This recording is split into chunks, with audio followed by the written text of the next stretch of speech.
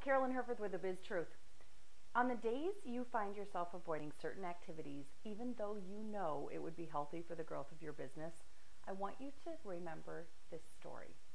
My friend and client Janice Bennett got in an accident last year that has sidelined her from doing the one thing that she loves the most. She has gone through countless physical therapy and doctor and chiropractor appointments. She has popped meds and taken warm baths. She's even she even hangs upside down on this inversion table to stretch out her back.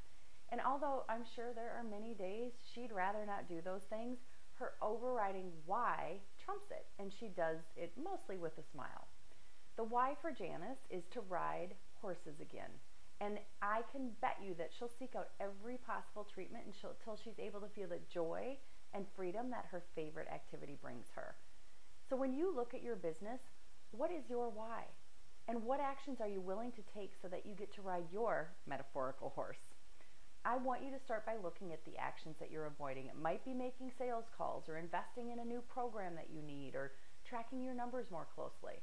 Then put those activities that you're avoiding into perspective by shining them under the light of why you're doing your business. And if your why isn't strong enough to suck it up and do those things, then it's time for you to go back to the drawing board. You can also flip this exercise when you're talking to a prospect who's resistant to taking action that will help them in their business or whatever it is they do. So, giddy up and go, entrepreneur. Giddy up and go.